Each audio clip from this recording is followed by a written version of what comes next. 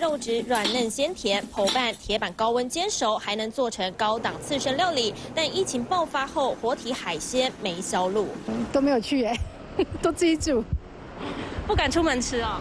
对，因为我觉得那太危险了。最近吧，比较多零确诊的时候，就比较放心。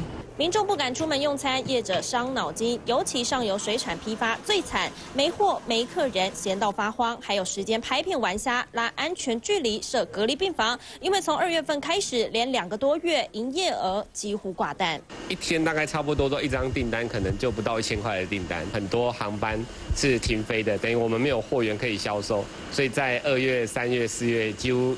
销量都是少了大概八九成。目前店内有的活体海鲜量不多，最产时期只有美国海鲜能进，波士顿龙虾、生蚝几乎维持全店货量。疫情趋缓后，四月中开始慢慢多了法国蓝龙虾、韩国帝王蟹、松叶蟹，但航班数量少，光是运费就要多贴六到八成。相对的，我们进口的海鲜的成本也会往上走。消费者其实闷太久了，他们想出来出来吃东西的话，还是愿意付那个高出来的那些费用。到了母亲节的时候。其实一天可以营业可以做到十几万，跑不掉，所以它的相差其实是蛮大的。超过一个月没有本土个案，疫情趋缓，反映在销售上。母亲节档期单日订单能破十万，只盼疫情稳定，重回大单融景。